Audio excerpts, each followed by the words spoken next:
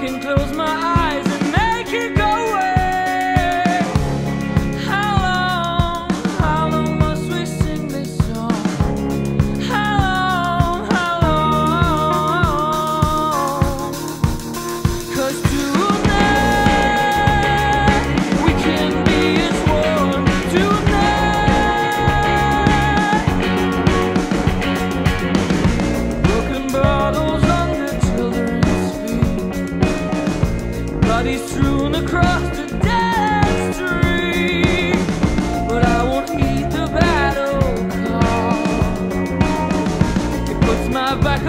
push my back up against the wall.